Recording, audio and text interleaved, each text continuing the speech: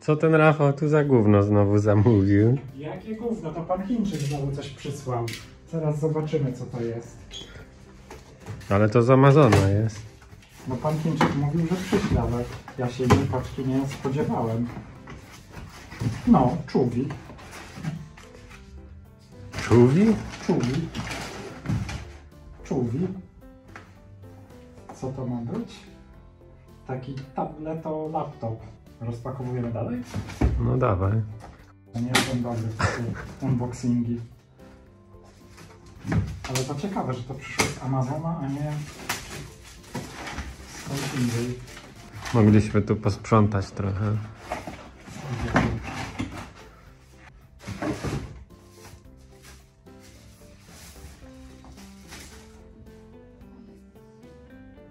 A to jest tablet? Tablet to laptop. Tu jest taka... I można klawiaturkę do tego jeszcze podłączyć. Tutaj wygląda ciekawie. Zobacz, ma fizyczny USB. A jak to wyłączyć?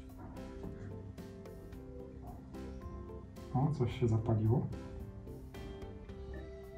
Ej, ciekawe, czy tu można z USB jakiś system odpalić inny. To jest trzynastka, tak MacBook Air. Jakby tutaj Macosa postawić z jakiegoś Hackintosha. To chyba będzie problem. O Boże, A tu co jest za złącze? Jest USB-C, to jest chyba HDMI, bo tak wygląda podobnie jak w Sony, a tu ładowanie. Myślałem, że to jest audio jack, ale niestety to bardziej... A Tu tu- jest audio jack. A tam z góry? Tutaj? Mm, Karta micro pamięci? SD albo coś takiego, tak. Cześć moi drodzy. Często widzicie, że naprawiam jakieś dziwne rzeczy przy pomocy jeszcze dziwniejszych rzeczy. Do tych różnych czynności, które tutaj wykonuję, potrzebuję czasami czegoś niecodziennego. Chodził mi po głowie pomysł na tablet z Windowsem i pełnowymiarowymi portami USB i właśnie w odpowiednim momencie napisał do mnie pan Chińczyk z firmy Czuwi, Czuwi, Czuwi, ciekawa nazwa swoją drogą, że ma takiego tableta dla mnie żebym go sprawdził. A ja stwierdziłem, że kurde, właśnie to jest to, czego potrzebuję. Tablet jest na Intelu i7. Co prawda jest dość duży, bo to jest 13 cali z rozdzielczością 2160 na 1440. Jest naprawdę kawał byka, tak naprawdę. Ale ma pełnowymiarowe porty, dwa porty USB 3.0, USB-C, port do ładowania, port microSD, klawiaturę dołączaną do tego z trackpadem. Myślę sobie, dobra, proszę wysłać, zobaczymy co to będzie. I to przyszło. Ja już sobie to trochę sprawdzałem, testowałem, na live nawet to sprawdzałem. To Wam zalinkuję, puszczę właśnie te rzeczy, które wykonywałem z użyciem tego tableta, czyli obsługa programatora do programowania pamięci flash, obsługa konsoli, czyli jakby interfejsu RS2 czy 2 do USB, to działa, nie wywaliło się ani razu, bateria zasila programator, ogólnie spełnia swoją rolę. Dzisiaj pokażę Wam i sam zobaczę, jak to wygląda w środku, jak jest taki tablet skonstruowany. Zapraszam do oglądania. Przykleiłem z powrotem taką folię, żebyście zobaczyli, co to za model, czyli U-Book X Pro Intel i7, klawiatura, coś tam, coś tam. Jedynie nie mam tego rysika, żeby zademonstrować, czy to działa. Tu jest więcej parametrów, jeżeli chodzi o model konkretnie i to, jakie jest tutaj zasilanie. Producent dostarcza sprzęt z naklejoną folią. Jak się dłużej uśpi, trzeba go niestety z przycisku tutaj odpalić. Dokładne parametry procesora, 8 GB pamięci RAM, dysk 256 GB SSD. I ten dysk mnie też ciekawi. Jest trochę mało pojemny i zastanawiam się, czy na przykład będzie można ten dysk wymienić. To sobie zaraz sprawdzimy. Nie wiem, czy to będzie to widać, ale ta matryca ma dość sporą rozdzielczość, więc naprawdę jest to czytelne i miło się z tym pracuje. Tutaj nie mam żadnych zastrzeżeń. Urządzenie ma dwa głośniczki, ma, taką, ma przyciski oczywiście głośniej, ciszej, przycisk włącznika, wyciszenia, wygaszenia, dwie kamery, jedną większą, frontcam jest trochę mniejszy. Tak już pokazywałem wcześniej, porty USB-C, USB 3, mini albo mikro HDMI, port do ładowania, osobny port do ładowania. Producent dostarcza zasilacz odpowiedni. I z tej strony mamy jack audio i jeszcze jeden port USB 3.0. Na dole mamy jakieś złącze do klawiatury i taką oto fikuśną stopkę, gdzie można sobie to powiedzmy położyć. I jeszcze jedna rzecz. Slot na kartę microSD. Może to być przydatne. Z minusów, które zauważyłem, to spasowanie w tej części trochę skrzeczy. Poza tym tył aluminiowy, ramka plastikowa, ekran trudno mi powiedzieć. Ale takie wrażenie solidne, nie łamie się, nie gniecie się, znaczy nie wiem czy nie łamie, bo nie próbowałem, ale nie wygina się, więc można powiedzieć, że dość wytrzymałe. Klawiatura z trackpadem i takim magnetycznym trzymadełkiem. Ona jest niestety troszkę taka plastikowa. Mogłaby być trochę lepiej wykonana. Montuje się to tak, że I jest, można pracować dosłownie. Po zamknięciu sprzęt można z powodzeniem używać, użytkować, przenosić właśnie z tą klawiaturą, zapewnia ochronę ekranu. Magnetyczne tutaj trzymadełko dość, dość skutecznie przytrzymuje wszystko w swoim miejscu. Zasilacz dodawany przez producenta 12V 2 A. Niestety dodawany jest taki z typem z typowym bolcem typu DC.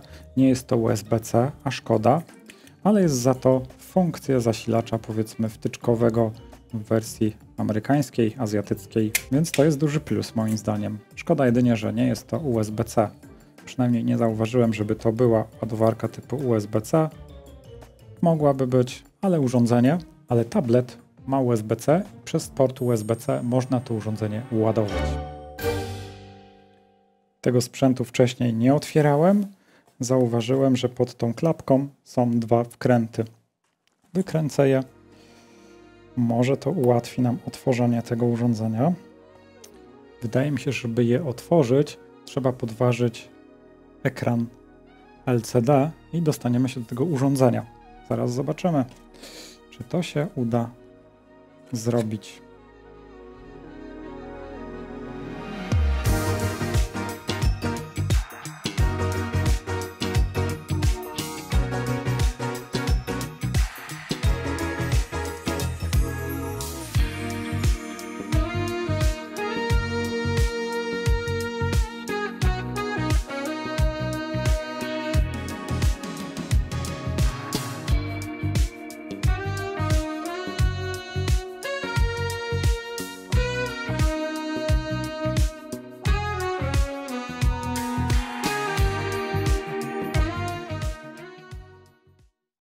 Takich miejscach, gdzie są przewężenia ramek, szczególnie uważajcie w używaniu czegokolwiek do podważania. To miejsce, to przewężenie jest bardzo słabe. Plastik czy ramka, która tutaj jest, może ulec bardzo łatwej deformacji czy pęknięciu wręcz, więc na to zwracajcie szczególną uwagę. Tak samo tam, gdzie są przyciski, bywają różne przewężenia. Na to trzeba zwracać uwagę. Ok, byłoby wszystko ok, tylko że ten sprzęt mi się włączył. Trzeba go jeszcze raz wyłączyć. Wyłącza się. Ok, chyba się wyłączył. I teraz tak, mam. Ok, dobra, jest spoko. W sensie można to wszystko elegancko sobie położyć na biureczku. Jedyne co by mnie ciekawiło, jak tutaj odłączyć baterię. Gdzie są przewody do baterii? W tym miejscu będzie git, można je odpiąć. Najpierw zawsze odpinajcie baterię. Muszę to zrobić oburącz. Ok, teraz ze spokojem można odpiąć kamerkę. Nie, to nie jest kamerka. To są przewody chyba do zasilania klawiatury. Tak mi się przynajmniej wydaje. Korpus, tak jak mówiłem, tył jest z aluminium i to takiego całkiem grubego, bo jak widać nawet jest tutaj frezowanie wykonane, więc ta płyta aluminiowa jest całkiem gruba. Ramka jest plastikowa, Stopka jest aluminiowa. Ale całkiem ładnie jest to wykonane. Jak wygląda wnętrze? Wnętrze to duży akumulator, 5000 mAh. No może nie takie może nie taki duży, ale też nie mały. I co, reszta trochę przypomina jak taki typowy typowy chiński tablet. Jest tutaj konstrukcja oparta o ramkę i w sumie matrycę, część nośna, to matryca i cała płyta główna w takiej właśnie postaci zintegrowanego wszystkiego. I wiecie, co ja właśnie zauważyłem, z czego jestem, jestem z tego zajebiście zadowolony. Naprawdę wydaje się, że tutaj mamy dysk NVMe albo MSATA, tak czy siak, na złączu M2, co powoduje możliwość jego wymiany i rozbudowy. Widzicie? O to mi właśnie chodziło. Tu się czai dysk. Zaraz zobaczymy sobie, czy faktycznie czai się tutaj dysk. Jest tutaj dysk, ale żeby tego było mało, jest to dysk. Myślałem, że już firmy Natek. Niestety Netak. To jakaś podróbka albo coś w tym stylu. W sensie Nateka, czyli naszego ulubionego producenta kabli. Ok, wyjmij wyjmę sobie ten dysk i zobaczymy, co tu jeszcze jest takiego ciekawego. No jest, dysk SSD. Można wymienić, wstawić większy, jak będzie taka potrzeba. Ja się turbo cieszę, bo różne pomysły do głowy przychodzą. To to jest miły, miły, fajny ukłon ze strony producenta. Taśma kontrolera dotyku, to taka standardowa historia. Digitizer jest osobno. Matryca, prawdopodobnie tu będzie złącze LVDS pod tym i przejściówka na taśmę. To też jest całkiem spoko, bo jest szansa, że matryca będzie dość standardowym e, jakimś rozwiązaniem, chociaż samo złącze taśmy nie jest takie standardowe. Widzicie, jest tu kilkukanałowa, nie wiem, czterokanałowa, prawdopodobnie matryca z łączem LVDS, w sensie złącze LVDS czterokanałowe, co sprawia, że ewentualnie jakbyście chcieli coś przerabiać, dobierać, cokolwiek, jakby wam się znudził ten sprzęt, to można go przerobić na coś innego. Wydaje się też, że jest tutaj normalna kość BIOSu na EFI, w sumie na EFI to nie, na UEFI i BIOS, jest spoko. Odkręcę sobie ten radiator, w ogóle wyciągnę tą płytkę i zobaczymy jakie to będzie miało możliwości ewentualnej modyfikacji. Tu są złącza USB-C, głośniki, tak, są dwa głośniki stereo. Nie są to jakieś atrapy, są jakieś przewodziki, więc są zasilane. Jest tu jeszcze możliwość podłączenia jakiegoś złącza. Nie potrafię powiedzieć do końca, co to jest. Może jest to slot na kartę SD, drugi slot na kartę SD. Tak kształtem trochę przypomina. Zobaczcie, tu jest jeden slot, a tu jakby była możliwość podłączenia drugiego slotu. Zobaczymy. Fajnie mieć jakieś możliwości, powiedzmy, modyfikacji ponad to, co przewidział producent, w końcu to jest najważniejsze, żeby była możliwość jakiejś modyfikacji. Użytkowanie takie tradycyjne sprzętu to trochę za mało. A jeszcze a propos tego złącza M2, wydaje się, że wycięcia sugerują, że jest to NGGF, czyli SATA na M2. Jakby wycięcie było z drugiej strony, to byłaby szansa, że byłoby to NVMe, czyli dysk mógł być szybszy. Tu wydaje się, że jest to SATA na M2 złącza wydają się zaklejone, w sensie każde złącze jest dodatkowo zabezpieczone jakąś taśmą klejem. Mocno to trzyma, naprawdę. Antenka Wi-Fi, jedna antena Wi-Fi, taki pasek, antena typowo paskowa. Ciekawe, gdzie idzie druga. Aha, tu. No to jest trochę takie słabe rozwiązanie. Tu są chyba... Ok, jedne LEDy są tu, a tu jest jeszcze jakiś sensor, którego wcześniej nie widziałem, ale jest coś tutaj na tasiemce ukryte. Nie wiem co to jest, może czujnik światła albo coś takiego. Zobaczymy może później.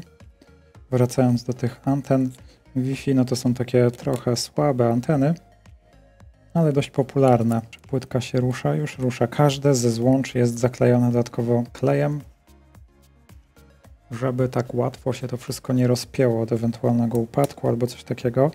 Może być z tym problem, żeby to otworzyć.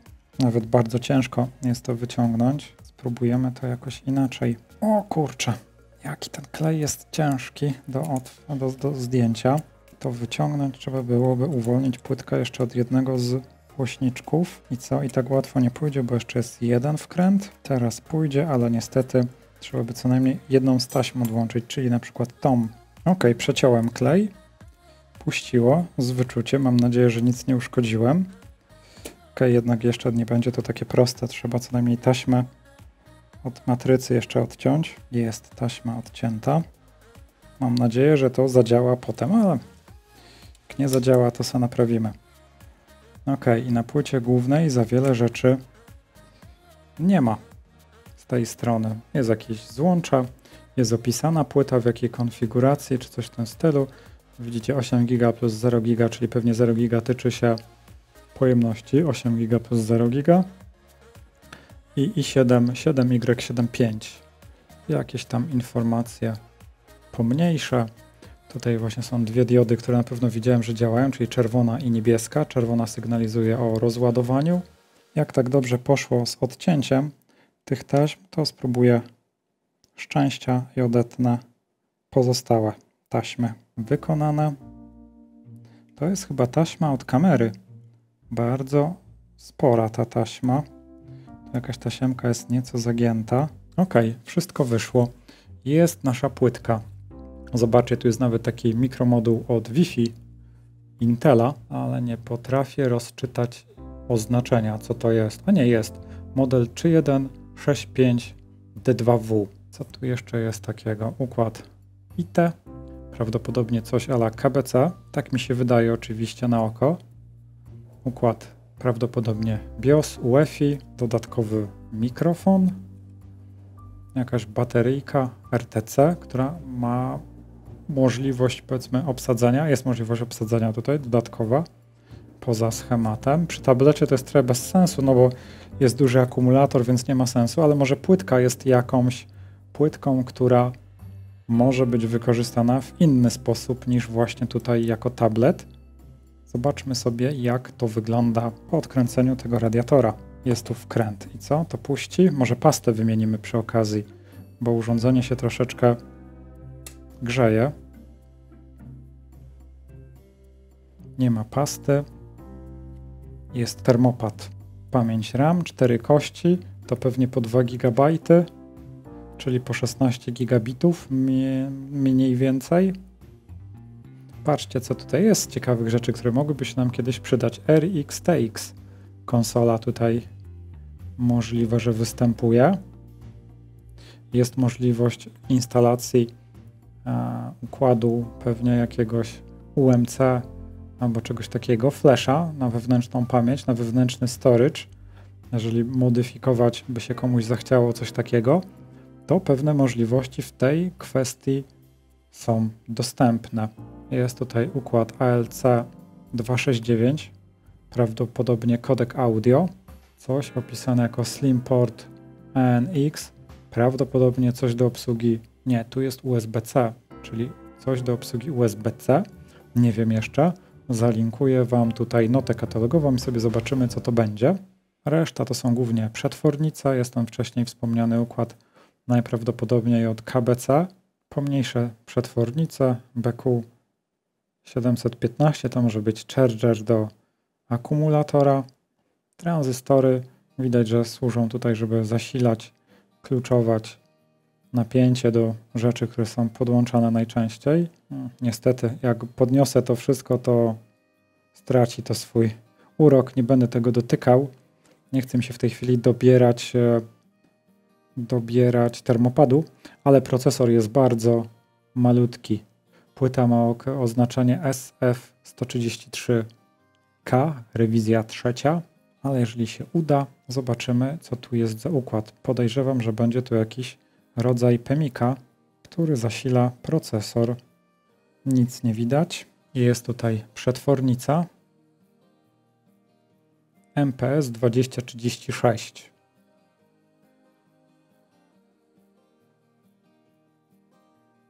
Jeszcze raz najważniejsze układy i budowa tej płytki, żebyście zobaczyli, jak to się właśnie tutaj prezentuje i czego można się spodziewać po takiej konstrukcji.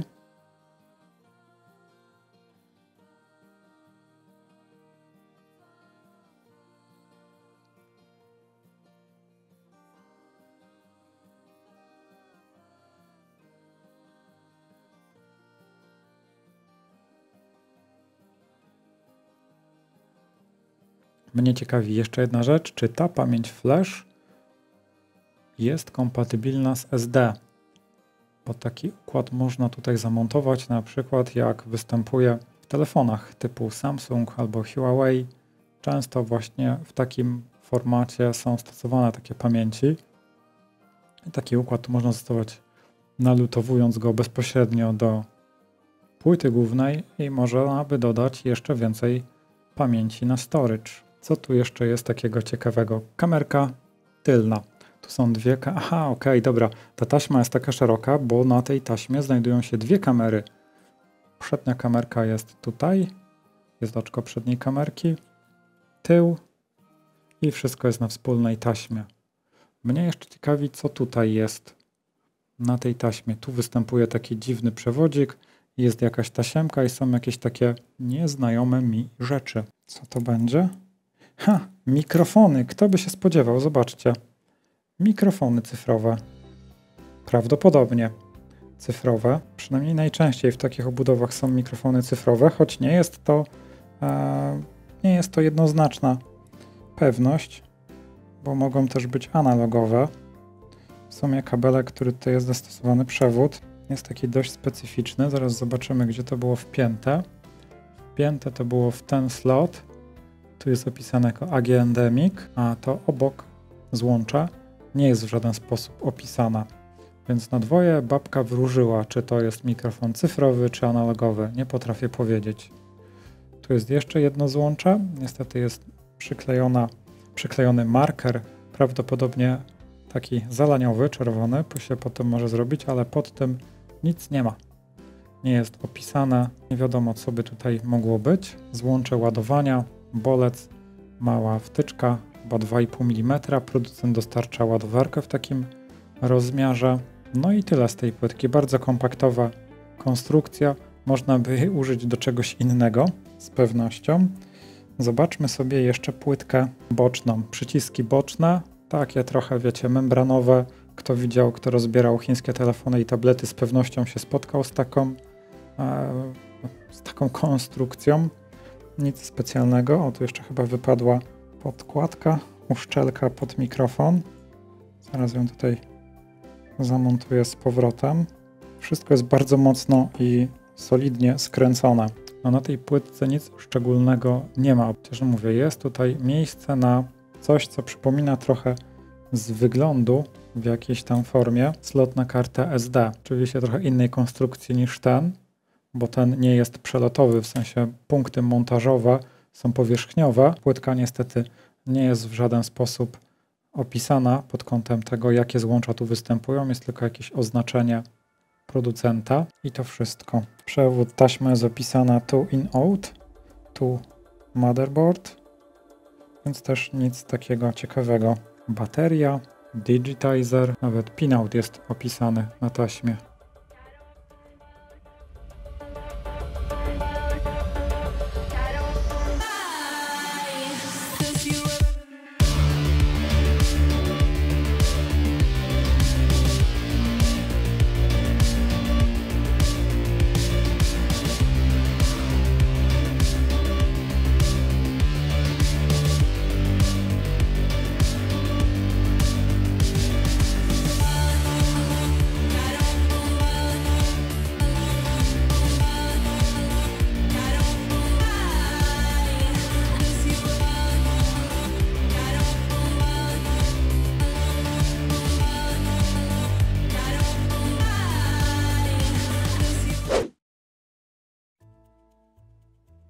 Coś poszło przy składaniu nie tak, zaraz to będę musiał poprawić. Pręży mi tutaj złącza od mikrofonów.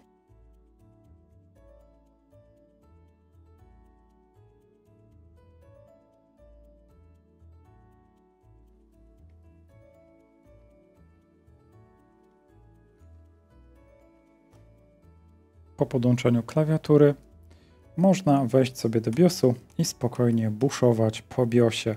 Można wybrać właśnie urządzenia rozruchowe. Może tu całe, całe jakby spektrum możliwości definiuje ten BIOS. Nie ma tu żadnych ograniczeń. Wystartować można tutaj prawie że cokolwiek.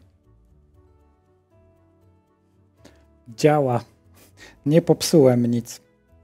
Nie popsułem nic z tego urządzenia. Można zobaczyć, że funkcjonuje, więc jest progres. Dziwnie się włączało, co prawda, jakby bootlub to miało. Na dysku twardym świeci jakaś dioda na czerwono. Podłączając zwykłą klawiaturę PC-ową, można wejść sobie do BIOSu, wybrać inny nośnik bootowalny, można tutaj odpalić Ubuntu, inny system operacyjny, cokolwiek, odpalić z jakiegoś live'a i można wykorzystać ten tablet do zupełnie różnych rzeczy. Chciałem Wam pokazać, że to ma też właśnie kamerę. Nie jest ona jakaś super, ale jest całkiem spoko. Da radę, żeby zrobić zdjęcie czegoś. Ma też frontcam. Frontcam niestety jest dość słaby. W sensie do przeprowadzenia jakiejś wideokonwersacji to wystarczy. Można używać FaceApp, czy jak to się nazywa, do odblokowania urządzenia twarzą. No powiedzmy fajnie, że jest. Nie jest to szczyt możliwości. Niestety całość się troszeczkę e, nagrzewa. Nie tak bardzo, żeby to przeszkadzało w użytkowaniu, bo za chłodzenie odpowiada tylko i wyłącznie radiator. Blacha miedziana.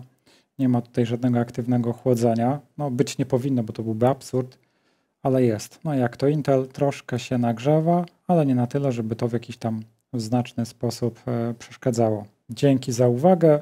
Mam nadzieję, że materiał Wam pomoże podjąć decyzję, czy kupować takie chińskie rozwiązanie, a może Wam się podoba. To zostawiam Wam. Ja do niczego nie namawiam. Mam nadzieję, że zobaczyliście, jak to wygląda wewnątrz. Mi się osobiście to podoba, szczególnie rozwiązanie z dyskiem, który można sobie wyciągnąć, zamontować. Inne urządzenie można rozebrać bez żadnych szczególnych narzędzi. Każdy w domu może to zrobić. Wystarczy jeden wkrętak plus trochę cierpliwości. Nie trzeba żadnych specjalnych narzędzi użytkować do tego. Urządzenie w pełni serwisowalne. Jest to plus tego urządzenia, że jest łatwo serwisowalne. Dla mnie będzie to ciekawy device, który pomoże mi realizować swoje różne dziwne pomysły z naprawami coraz różniejszych urządzeń. Poniżej w opisie jest kod, przez który dostaniecie kilka dolcy zniżki, jeżeli by Was to zainteresowało na tyle, że chcielibyście kupić to urządzenie. Dzięki, trzymajcie się, do następnego razu.